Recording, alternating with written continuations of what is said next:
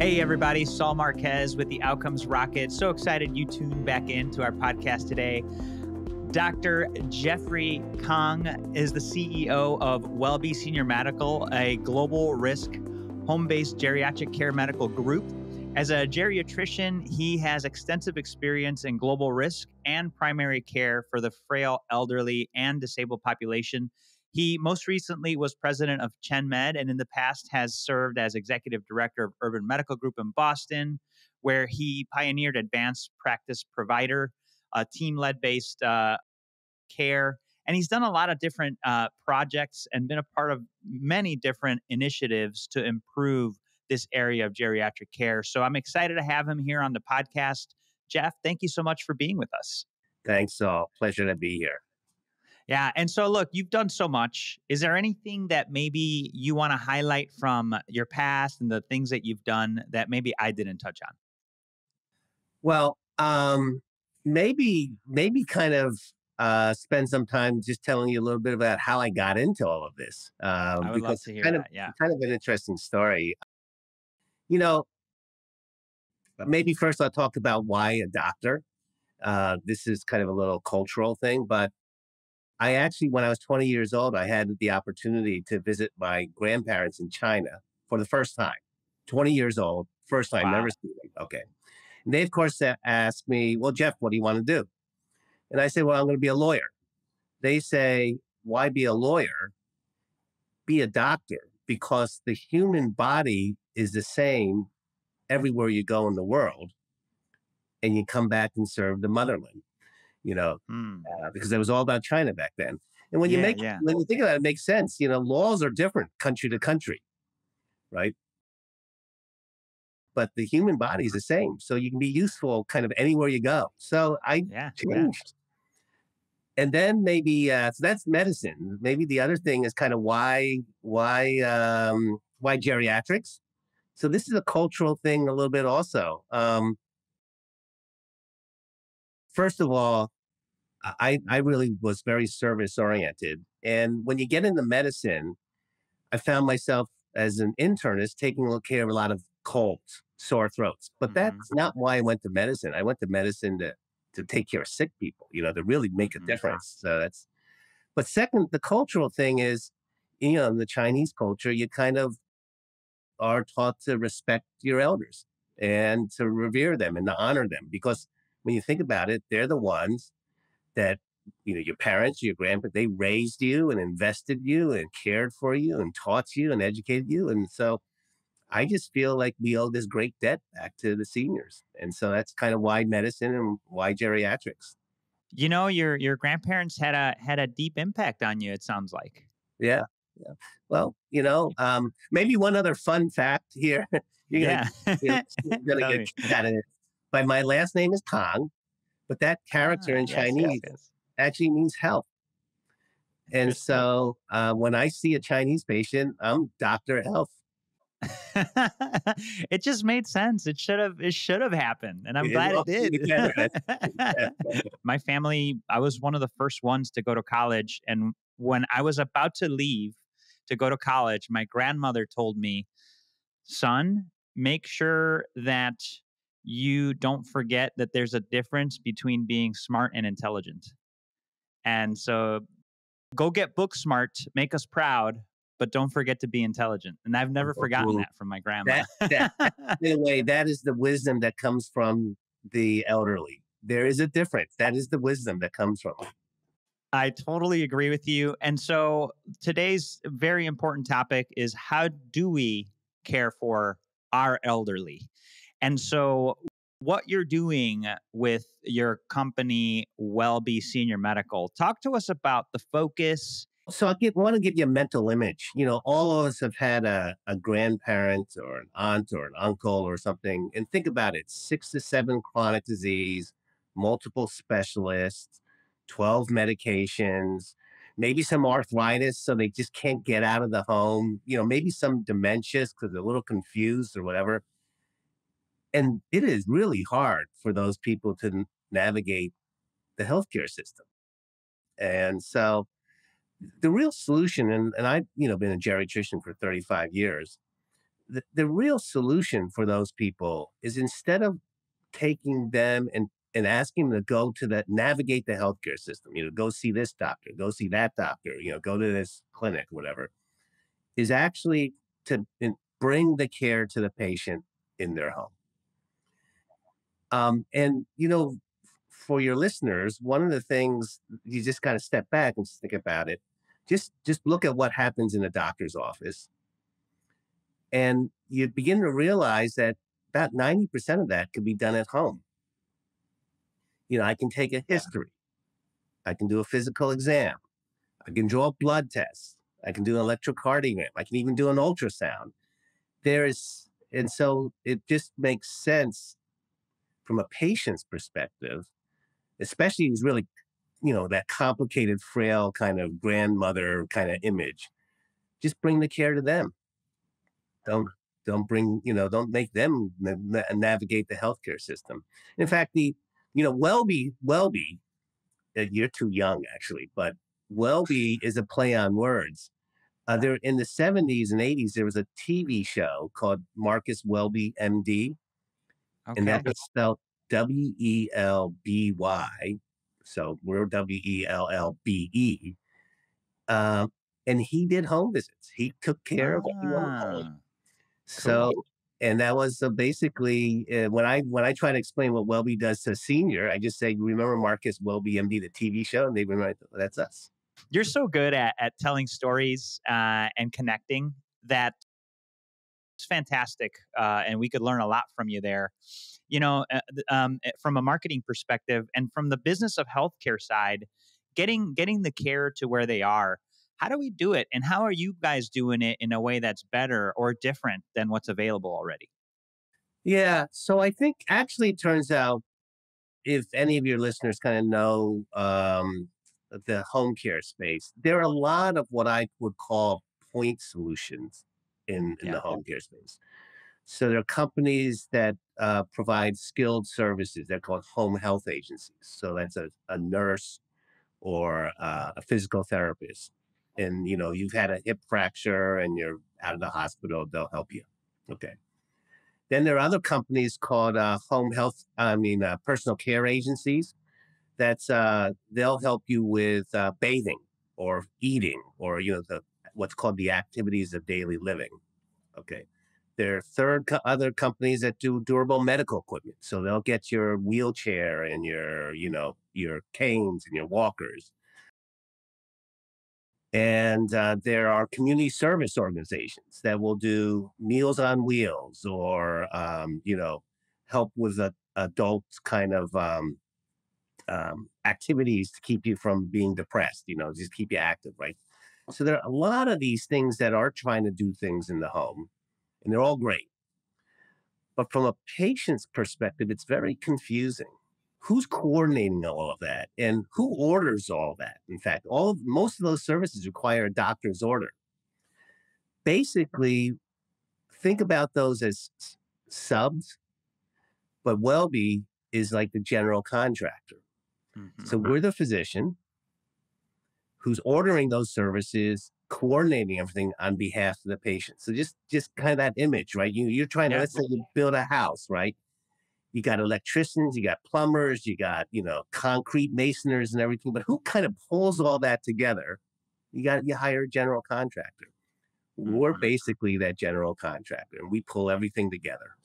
Does that make sense? It, it makes a lot of sense. And you you mentioned a lot of things like all the resources, right? Like the personal care, the home care, the durable medical, the all of these different things, the community organizations, and and and half the time we don't know what the options are. Ha, you know, half the time we don't know all of the resources. Uh, in comes WellBe, and now you have all of the resources at your fingertips and you could get access to them based off of what you need. I, I think that's brilliant. Uh, the way that you guys have aggregated uh, all of these options. And so, then as far as a business model, are you guys focused on um, Medicare Advantage? Are you going broader? Are you doing Medicare? So, right now it's Medicare Advantage, 100% Medicare Advantage. We're actually in seven states. uh, with Awesome. over 100,000 people we're caring for. And uh, now, interesting enough, 20% of those people are already in Medicaid. They're dual eligible. So Okay. it's, it's a lot of, it's a very poor kind of population. We will, at some point, we'll probably get into Medicaid only. And then uh, eventually, we'll think about Medicare, traditional Medicare, Medicare fee for service. That's Mhm. ACO REACH. That's another target. But right now, we've started off with Medicare Advantage. Talk to us about some of the wins, right? Like, uh, what have you seen that has kept you going with this? Ah, so this is interesting. Um, we started just three years ago. So if you turn that clock, that was in the middle of COVID before any vaccinations. So July of 2020. Wow. That's when we started. And I'll just have, just take you back. Remember, everyone was locked down. They were afraid that the sick people were afraid to go see a doctor. You know, it was called deferred care back then Yep. Yep. we came along and said, look, you don't have to go out and see your doctor and take a cab and, you know, run into a hundred people on the way to the doctor's office. We will come into your home in the safety of your own home, just one person, and we'll take care of you. It was it was really rewarding actually. In many ways, we try to accelerate because of COVID is is because it was a huge need and the doctors were closing their offices and everything. And we're like, well, wait a second, these people need care. We'll just take the care and see them.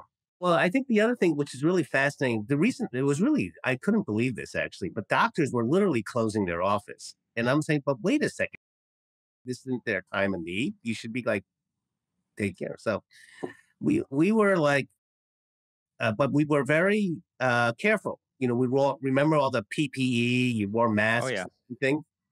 hmm So between that period when we started and we when first vaccinations, right? Everyone got all the seniors got vaccinated first. Between that period, it's Yeah. about maybe eight months. We'd seen about twelve thousand people encounters. Wow. And we did not have one single case of occupationally transmitted COVID Nice. because we were careful.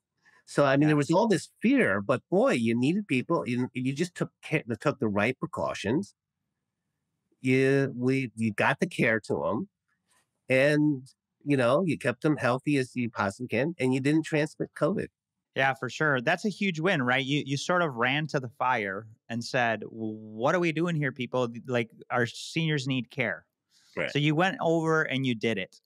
And then fast forward to today, which huge kudos to you by the way, and I can't believe all those encounters, thousands of encounters and not a single occupationally transferred COVID case. I mean, that's a that's a huge win in my eyes.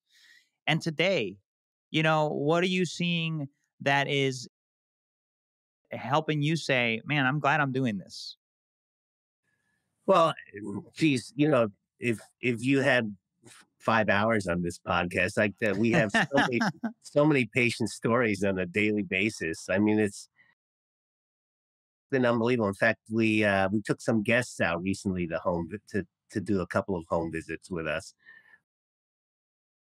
I guess maybe the maybe it's amazing that you can take care of their medical issues by just going being both convenient and responsive. So someone who has an exacerbation of emphysema, we can go into their home. We can actually we have this interesting uh, mobile paramedic program where Okay. it's it's a think about an ambulance, uh, but in an SUV, all the equipment with a paramedic. And the, let's say you have shortness of breath and you have emphysema. We send that in the truck in, and they can literally give you a nebulizer treatment right there. Or let's say you're dehydrated, they give you, I, you know, intravenous's, right? So, what's from a medical perspective, just being very convenient and responsive. Convenient is like in the home, right? And then responsive is I get there in 30 minutes. You can really improve people's outcomes and actually treat them in the patient's home, right? So that's kind of the medical side of the story. Then Yeah. there's this you're you've probably had guests on that keep talking about the social determinants of health, right? Not enough food or whatever. boy, if you really want to understand the social determinants of health, you go into someone's home and you know exactly what's going on. Yeah. Yeah. You know, when you see someone in the office, what they do is they dress up, you know, and they're like, you know, and they're kind of on their best behavior and whatever. And and you ask them, do they have enough food? And they say, yeah, I got plenty of food. Then you go into their home. All you have to do is open the refrigerator. That's it. And it just tells you a it. completely different story. the power of digital it it cannot be ignored it's part of what we do what we have to do but at the same time presence is key to make a difference I agree with that 100%. You probably, so presence for a whole variety of, from a, like that social determinants of health perspective, you get the full picture. You know, digital or remote patient monitoring, is it showing you that there's a tear in the rug and someone can trip over it? It's not showing you Yeah. that, right? But that's kind of, uh, but that, boy, that's a fall waiting to happen, right? And so you ought to do something about it. The other thing, from a pure telemedicine perspective, let's say a person has an abdominal pain.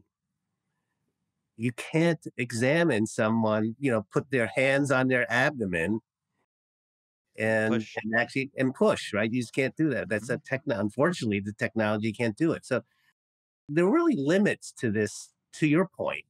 There are limits to this digitization, remote patient monitoring technology and presence. I love the way you said that. Presence, right? In the Mhm. in the patient's home is really gives you so much more information and, and color around kind of what's going on. thank you for for sharing the philosophy the the method how you aggregate all of these things and some of the wins that you guys are are getting you know how about the you know when we think about the quadruple aim jeff we we think about the clinician right and and there's a lot of burned out clinicians talk to us about that are you guys employing clinicians are you guys offering opportunities to clinicians that are looking for something new Yeah. Boy, boy, I can go on for, on this one. So first of all, he says an interesting another five hours Yeah. right, right. So it's interesting because uh, I'll, I'll come at this a couple of ways. Yeah. One is is we as clinicians, as professionals, we all most actually clinicians, just like my my story, go into medicine because they want to care and they want to and they want to serve and they want to make a difference. Okay. What happens though in the fee for service system is we beat that out of them. You know, we say it's not about caring patient, it's about seeing 30 patients a day. You know, you go in to see the doctor's office and they're they're like frantic. They're going in 30 patients a day, right? That's the mm-hmm. volume-based medicine. Our Wellbe Senior Medical is is, you know, you mentioned it's global risk. We're basically we're in the we're in the value-based world, which really means that our economic incentives are to keep people healthy and out of the hospital. So we actually allow our clinicians, not even allow, require, I guess, to practice medicine the way it should be practiced, to take care of the patient, spend the amount of time to, that's needed with the patient, to be empathetic, to be compassionate, to talk to the patient. Right now in the home, typically in the fee for service world, in the you, to make it work in the fee for service, you have to see eight to 12 patient, patients a day. We're about four to five patients a day. And it's Wow. not about the number of patients, it's about spending the time with the patient that you really, that they really need. Back to your question about how do we recruit people? It's because we're in this value based world, we're basically offering the primary care clinician something that they've been looking for and they're not getting in their current job. In Yeah. their current job, it's just a volume game. In our go- job, it's about doing the right thing. You care for the patient. And in our model, we actually, it's not about money, but at the end of the day, you don't, you can't make money, you can't be sustainable, right? So in our Yeah. model, you actually we make more money. We keep people healthy out of the hospital. Is, not that something you would want? You would want a doctor that that's what they care about is keeping you healthy that's and the way it should work. Yeah, yeah, that's the way it should work. No, I love that. Um, folks, if you're a clinician and you're looking for, there's options out there for you. WellBe Senior Medical is one of those options. Um, you know, and and so as you've built this, I, I mean, and you guys have grown fast. I mean, it's been three years. What's hey, been so, one of the yeah? So just before, just one other proof point because I I strongly believe I'm building a, a clinical culture that supports our clinicians that doesn't treat the clinicians as like a cog in the wheel or a, you know piecemeal worker, right? So so uh, we've only been work in existence for three years. We just were recognized last night uh, modern healthcare uh, best places to work, 66th in the country. Nice. That's out amazing. Of all, out of all providers and health plans. So 66th in the country. Out of know. all providers and health plans. Out of all providers and health plans. And you've been in the game for three years. That's huge. That's right. Yeah. So That's I'm not, but, but it's about creating that culture and supporting the clinicians to really let them care for the patient. It's not about and if you really look on what's going on in medicine in the, that fee for service world, number of people. you Can, when was the last time you saw a doctor? Uh, let's see, two months ago, and well, actually, uh, it was a virtual visit, and then I went in to go do the blood work. Like I went to the lab to do the blood work. How much time do you get to spend with that doctor? It was uh it was a 30 minute thing. Uh, but it was like a concierge thing. Oh, okay. Well, now that's a different thing. So if you're in yeah. in fact, WellBe Senior Medical feels very similar to concierge program. It feels that way to me. Because yeah, you get very, what you're telling me. Yeah, you get you can get, but now you have to pay for that, right? I uh, do. Yeah. Yeah. Yeah. But in our situation, it's all covered by the health plan. Awesome. And basically, people get convenient access to their clinician 24 7, 365 days a year. That's what it's, it's about convenience and responsiveness. That's what you're paying Shit. for in concierge medicine. I get my doctor. You are. You versus, are.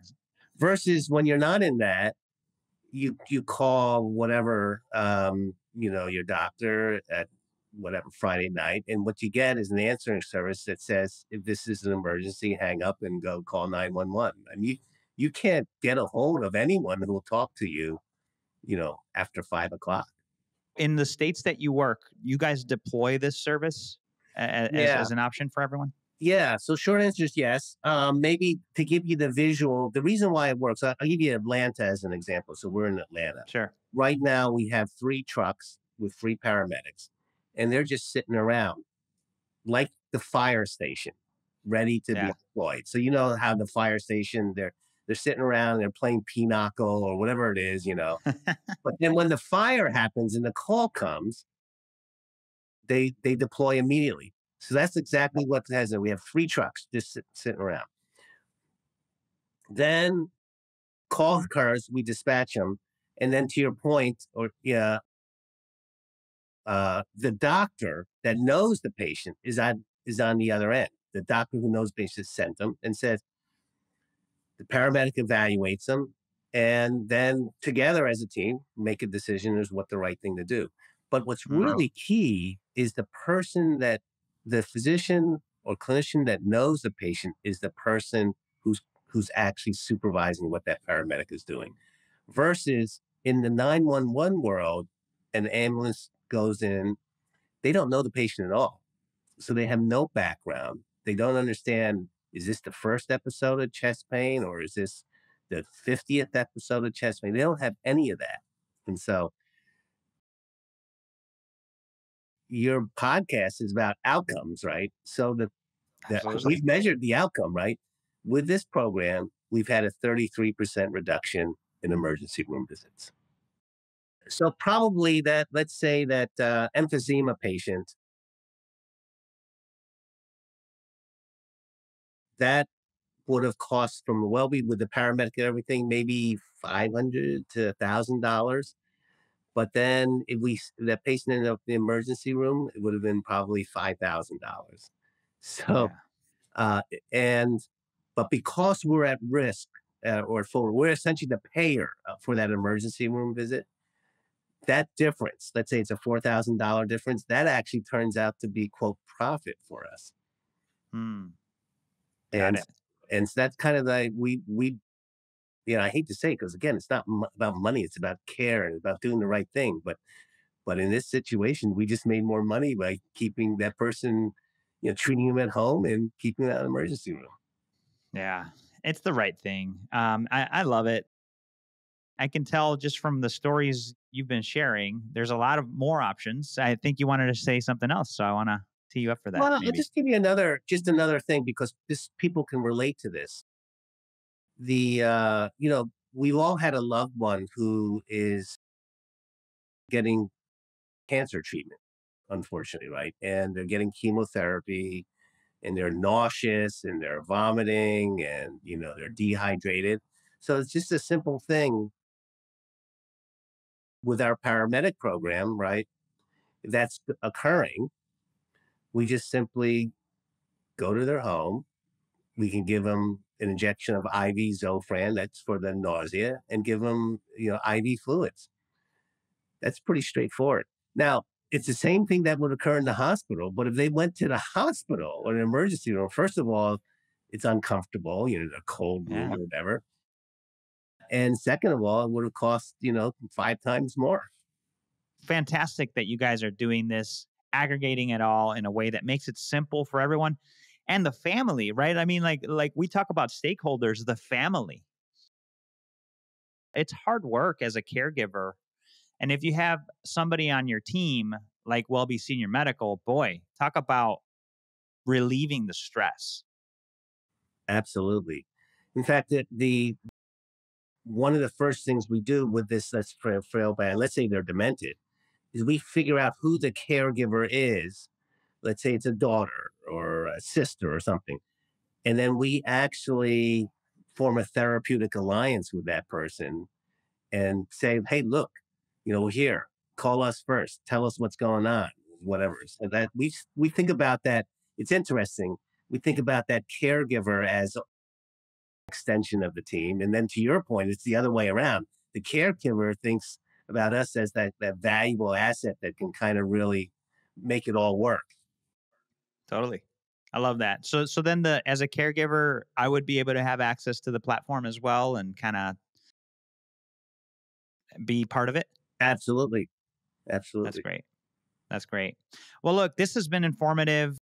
Dr. Kang, I know that we we we should probably visit again in the next six seven months. I'd love to hear how things are going and and uh, get inspired by the type of care that you guys are delivering. If uh, you had one thing you wanted to leave the listeners with today, what would it be? Yeah. So, you know, you actually kind of said it, but I'm just going to reemphasize is Okay. I think it's, it's our responsibility to make healthcare easy. That's our promise is to make healthcare easy. We in general have made healthcare so complicated. It's been fragmented, you know, multiple different providers every time. Or doctor the patient is like I sees one doctor for prevention, one doctor for chronic disease, one doctor for palliative care. You wonder why people are confused and just that we basically think about us as the navigator or the and the advocate, you know, who's Mhm. working on your behalf. You know, I've said the general contractor also. I mean, a couple of ways to think about it. But the Yeah. goal is to make healthcare easier. Well said. Let's make it easier, folks, on ourselves, our loved ones. Check out the work that Dr. Kang and his team, WellBe Senior Medical, are up to. In the show notes, we'll leave links to their company. And, and if anybody wants to get in touch with you or, or anybody on your team, Jeff, how do they do it? It's very simple. Go to wellbe, W E L L B E dot com, and there's a contact place for that. Amazing. So take action, folks. That's how you get outcomes. And uh, Dr. Kang, I want to thank you for taking action and being with us today to share the message that you and your team are up to. Saul, thank you very much. And just remember, it's not about being smart, it's about being intelligent. yeah, I appreciate that, Dr. Health.